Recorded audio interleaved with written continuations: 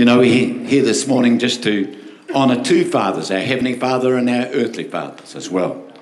In Matthew chapter 6, if you go there with me, and he's asking, they're asking here really to teach us to pray. And so in Matthew chapter 6, verse 8, it says, Therefore do not be like them, for your Father. Isn't that good that Jesus says it's your Father? Your Father knows the things that you've need of before you ask Him, and in this manner, therefore, pray, Our Father. Now he talks about our Father as well. So we're here just to honour two fathers, our earthly fathers and our heavenly Father as well. I, I, you know, you cannot overemphasize the goodness of God, the grace of God. I was sharing with Alex from the TV before, he was asking me some questions. But the man that led my wife and I to the Lord gave us a great foundation, the fatherhood of God. I've never believed ever that God made you sick, ever in 40 years. I've never believed that. I've never believed that God put you through tough times, hard times, because, hey, the fatherhood of God, the goodness of God, the grace of God. Can I have an amen or what?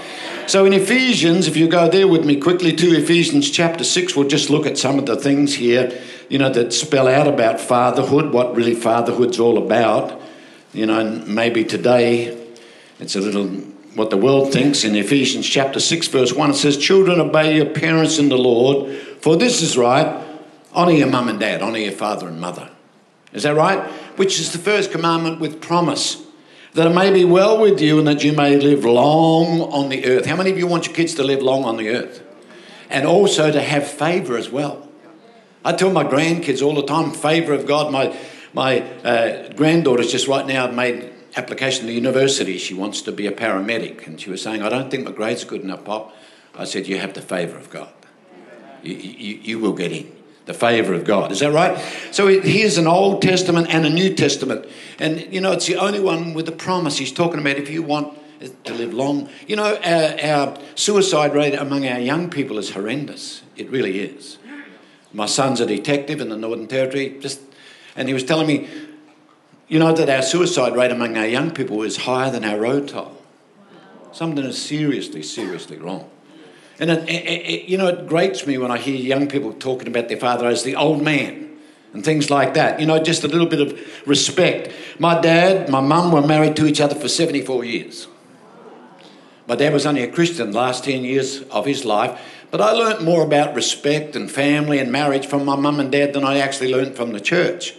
Uh, you know, my dad grew up in a life. My mum was 98 when she died, my dad was 96. And uh, I remember going in, my dad was born again for 10 years. They grew up in an era, you know, that you didn't show too much affection. It was like you got a handshake, that was about it.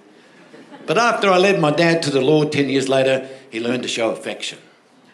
You know, that's the grace of God, the goodness of God. So much change there. You know, just and, and I'm just we're honouring our parents. My dad grew up in a large family, 12 kids in the family. First up was best dressed. One that had the longest arm ate the most.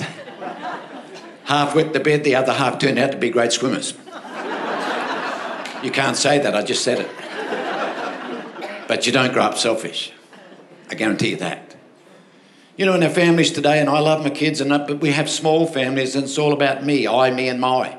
iPads, iPhones, because it's all about I. I feel a love coming now. The average person today takes seven, uh, sorry, 48 minutes of selfies a week. That's seven minutes a day of total narcissism. Don't you know what you look like yet? Remember when we actually used to take photos of other people? Anyway. but you know, I, I owe a lot to my dad. I really do. You know, he gave me life for no other reason. You might think you, you have some baggage, but your parents had baggage as well. They had to deal with certain things as well. Is that right or not? And the, the, for nothing else, you can honour your dad that he gave you life. Think about that. My dad volunteered in World War II. He didn't go off to fight the Japanese, uh, you know, to get medals. He went because his family was being threatened. Just a young man. Was so badly wounded in New Guinea that he, for the first two years he came home, he couldn't work.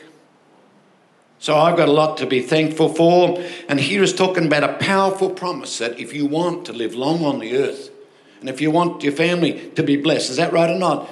Is that honour your mum and dad? Just something about honour. You know, and I think that's a forgotten word today. We don't even know what the word means. But here, just a little bit of respect for your father. And our greatest need for a man is to, I believe anyway, just some encouragement. I don't respond to criticism as well as I respond to encouragement. Anybody else or just me? Think about this. Even Jesus needed that.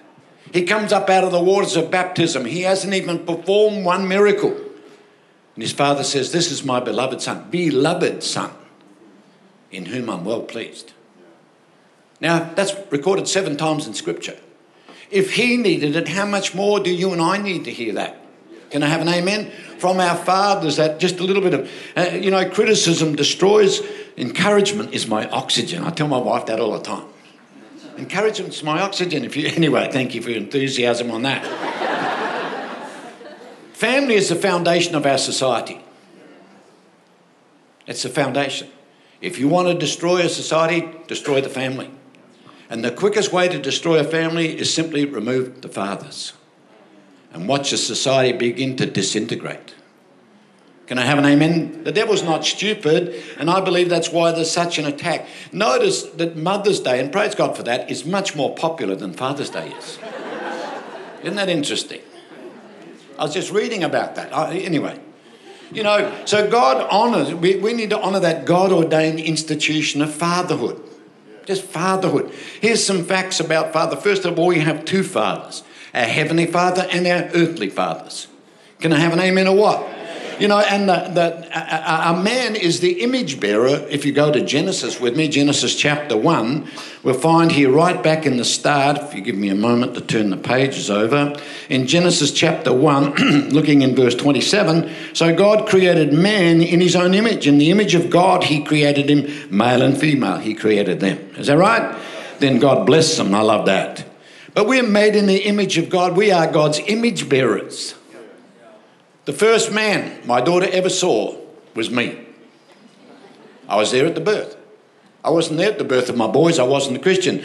But I was born again and I was there. I made sure I was there when my daughters were born. The first male they ever saw was me. And so a lot of what they, they base, I believe, their understanding of men and things like that is what they see in me. We're image bearers. Hello? And, you know, think about that. And, and you know, some, anyway, we won't go there our concept of God is often derived from our earthly fathers. If your father was loving, generous, if he was mean, angry, you know, I was sharing a game with Alec.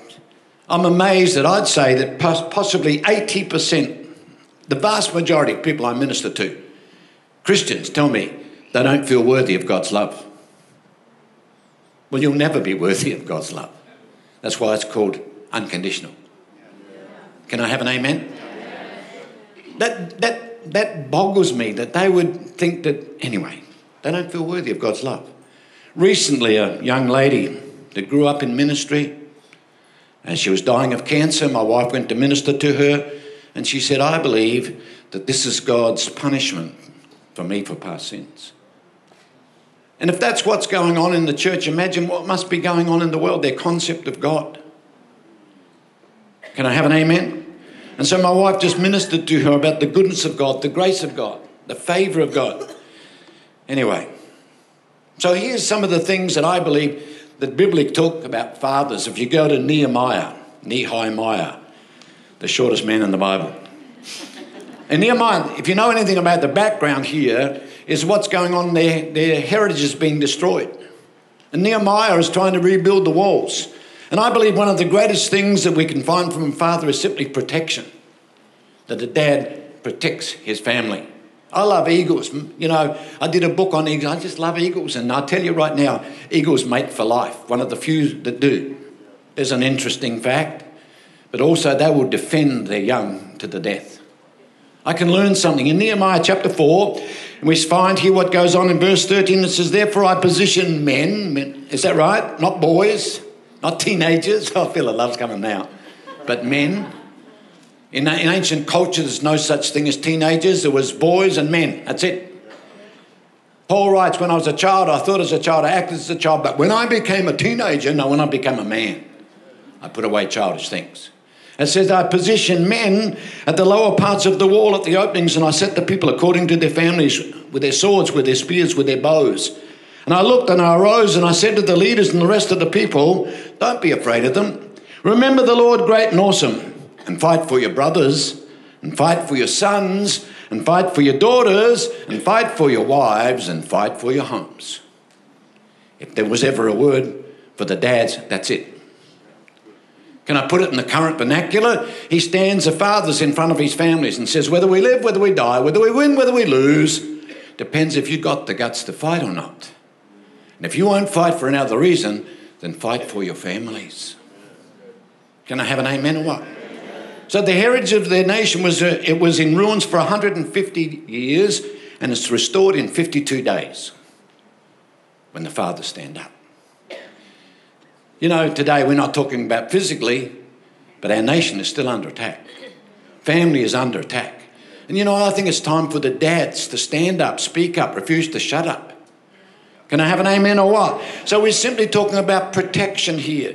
God is our protector, but also the, the earthly father needs to protect his family.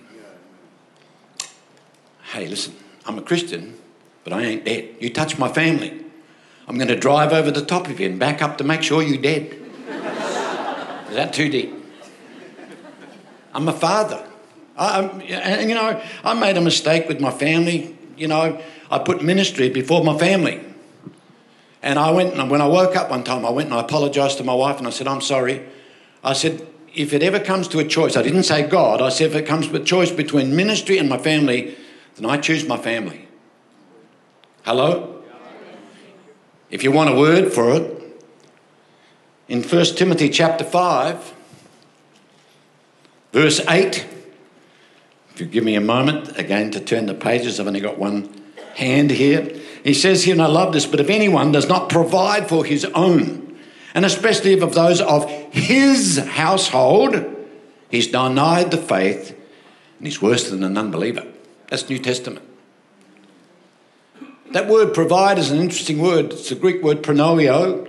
It means food on the table, it means clothes on your back, but do a deeper word study, you'll find it actually means to lay down your life for your family.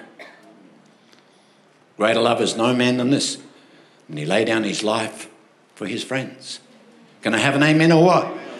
I saw my dad volunteer, lay down his life for us. He wasn't even a Christian. Didn't go off to get medals, but simply because he saw a threat to his family. I'm leaving later, so Pastor can clean up the mess. Was that right?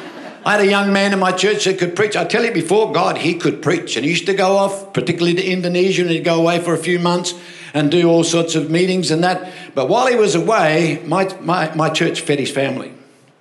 And so when he came home, his wife used to come into my office and cry and cry. And she said, I'm married to a big boy that knows nothing about responsibility. I've gone very quiet in this Presbyterian church again now. And so when he came back and I said, Well, you can get your head, if you can get your head through the door, hello, I need to talk to you. I said, if you don't stop what you're doing, I didn't say you got to quit ministry. I said, if you don't stop and get a job and provide for your family, you're going to lose your family. He said, oh, you're just jealous because I can preach better than you. So the spirit of slap came on me. I'll slap that boy. I tell my kids, the spirit of slap's coming on Pop right now. I'm politically correct as you can pick it up. I said, Listen to me, I'm trying to be a father to you. I know it's a foreign concept, but I'm trying to be a dad. I said, Listen to me.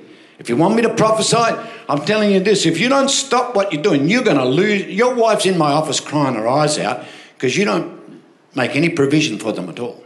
He said, I them what you're talking about.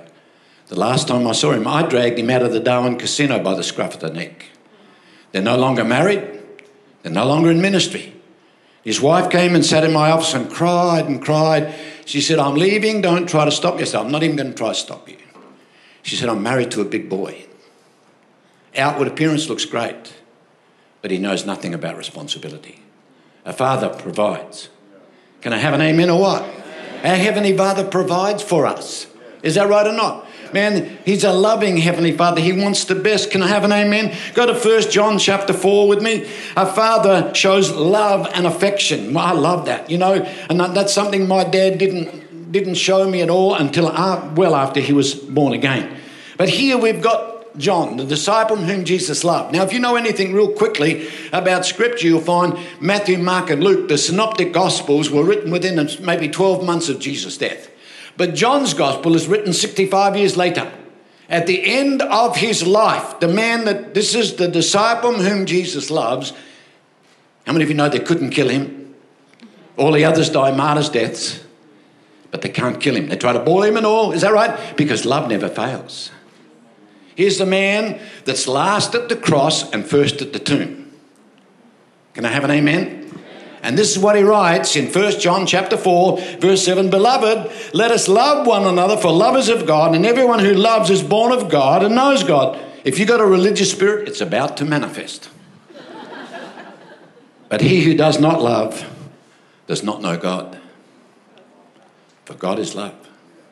Now, if you can't remember anything else of this message, when you're going through your tough times, three o'clock in the morning, and symptoms come on your body, the devil tells you this is God. Remember, God is love. What is love? Love is kind. Is that right? Love is gentle. Go through and read what describes love is. And God is love. I love that. God is love. It bothers me, as I say, that people in the church, maybe 80% of the people that I minister to, say, I don't feel worthy of God's love. But God is love. I love that. God is love. Just last weekend, I did a leaders and a pastors conference up at Toowoomba. And there was an ex pastor there, and he came out and he said, Can you help me? He said, I'm an alcoholic. He showed me, he said, I tried to, I've tried to commit suicide. And I just started to put my arms around just, and he started, he sobbed and just sobbed and he just sobbed. He didn't to, me to tell him you're a mongrel. You've missed it. Anybody know what I'm talking about? Just talked about the goodness of God, the grace of God. God is love. You know, uh, where I go to on the Gold Coast, I go to a barber real quickly, you know, rough as bags. I'll, I'll tell you his nationality. His name's Luigi. Does that give you a clue? No, he's not Irish. and Luigi's rough as bags. Every second word's a swear word, you know, tattoos, everything. Well, I didn't grow up, you know, anyway, but that's cool. And I go to, and he's away. He's a good barber, and he's away. And so there's a lady barber. She's rougher than he is tattoos every. If you've got a tattoo, enjoy it. I just don't want one. Would you put a slap a bumper sticker on a Ferrari? I'm just kidding. I'm just kidding. I'm just kidding. I'm just kidding. I'm kidding. Hello. And so he's way. and I'm sitting. I, I like what ex UK Prime Minister Tony Blair said: "Never apologise for your values." And I'm just sitting there and minding my. She said, "What do you do?" I said, I'm a minister of the gospel. and The language changed immediately. Isn't that amazing? No more swearing. And now she picks on God, and God did this, and how can there be a God, and all these poor things. I said, Lady, just stop. I said, Look, look, look at me, look, look at me. I said, You know what, something? God loves you just like you are. Now, I didn't say she's saved. The Bible says, For God so loved the world. I said, Look at me. I said, God loves you. She said, You don't even know what I've done. I said, It's not based on what you or I. If it's based on what we've done, I don't qualify. It's based on accepting what He's done for us. And I said, God loves you just like you are. So she starts to cry right in the barber shop. She starts crying. I didn't touch her. I said, I didn't touch this lady. Didn't, didn't lay a hand on this lady. Two weeks later, she turns up at church. I never invited her, never rammed a track down her neck saying you're a mongrel going to hell. I'm sure she's heard that. She turns up to church. Isn't that better than trying to force something down somebody's throat? Just talking about the goodness of God, the grace of God, because that's what the world desperately needs. Love is the engine that drives the world, people.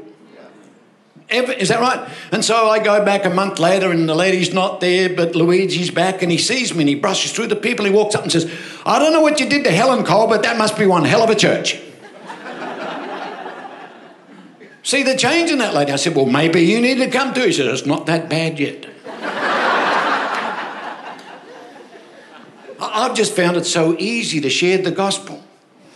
Just sit down with somebody and what's happening in your life. Most people like to talk about themselves. And they'll just start. This happened, that happened. It gives you an opportunity. Is that right or not? Just to talk about the goodness of God, the grace of God. Just even to show a little bit of love just to, to a world that desperately needs love. Can I have an amen? My Heavenly Father, an opportunity. I, was telling Alex the street that I live at, it's Spot the Aussie. Hello. In my church, with 28 nationalities. My daughter-in-law's Filipino, so that's that's cool. But uh, there's just two families that are Australian-born. Across the road is three South Africans. Then I've got, I live next door to an Iraqi Muslim doctor. And then we've got Taiwanese, and we've got Japanese, and then something else. And away we go uh, from Shu. Well, how do I relate to these people? I don't speak Japanese. My Japanese is limited to Honda and Toyota. How do I relate to the people? See, we all want to go overseas to minister, but we don't even know our next door neighbours.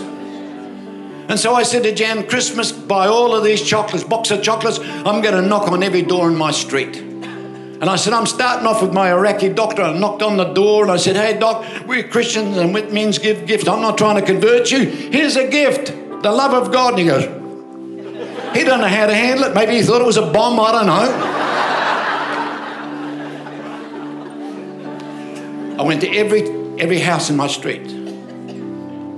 They all took and listened to me. And now when I walk up the street with my dog, everybody comes out, waves to me, and says hello. In my letterbox was a whole pile of letters just thank you for your kindness. Anybody know what I'm talking about? My, my Iraqi doctor comes over and he says, Col, I've got to go away. Will you watch my house? Can you put my, my bin out? Hey, that's what it's all about. Just communicating, just relating. Can I have an amen or what? For God is love doesn't say he has love, it says that he is love. If we had time, we could read the, the story of the prodigal son. I love that. I love that story of the prodigal son. How many of you know the boy, is that right? Just treats his dad like he's dead. Just give us what's mine. I'm out of this place. Is that right or not? Hello. Later on, he comes to his senses, spent it all. Is that right? And he's coming back to repent, but his father sees him. That means his father must have been watching out for him and he runs. Different words for running. He sprints, which is against the culture. You've got to tuck up your dresses out and show your legs and, and run. That's embarrassing. He falls on the sun and it says it kisses, but read it. Kisses him repeatedly. Shows the love of God. You can't emphasize the goodness of God. Listen to me. The change in my own life since I've had a revelation of grace. is just amazing to me. My kids, my grandkids, my wife goes, What has happened to you? Like you're born again again. Instead of being a smart aleck, I know all the I know the Greek and the Hebrew for everything. What's the Greek for? Shut up, you're boring. Now it's just the love of God. Just sit down and talk to people. Maybe just give them some money. Does anybody know what I'm talking about? Thank you, Jesus. Man, I love it. You cannot overemphasize the goodness of God. People say, oh, talking about grace, you're giving people a license to sin. You're going to sin anyway. Don't tell me that. You think, oh, I might have been born at night, but not last night. People, is that right or not? No. It's talking about the goodness of God. Jesus said, My Father. And he says, when you pray, Our Father, our Father which art in heaven. I love that. When I appreciate my earthly dad, but he had some baggage. He didn't know how to show affection, things like that. But then I realized that he would have been given some baggage as well. He had to grow up in really tough times, depression times, go off and fight, maybe lose his life, come back and so so wounded and bent up that he couldn't even work. Anybody know what I'm talking about? But when he got saved, that love came through again. You can't overemphasize the love of God. So today we're just here to honor our Heavenly Father and our earthly fathers. If you want to live long on the earth, if you want to be blessed, honor your mum and dad. Father, we just give you the praise and the glory. Lord, I just thank you for the, the, the, the homes, the families that are represented here today. Lord, I call them the head and not the tail, and above and not beneath it. Whatever they turn their hands to shall prosper and succeed, that the enemy shall no longer find opportunities to come into our homes and rob and kill and destroy. And Father, I speak blessings over the dads today the dads, the fathers, the grandfathers. We love you. Show you encouragement. Thank you for giving us life. Thank you for protecting us, providing for us for showing us affection when we desperately needed it. We just give you the praise, we give you the glory. Thank you, Jesus.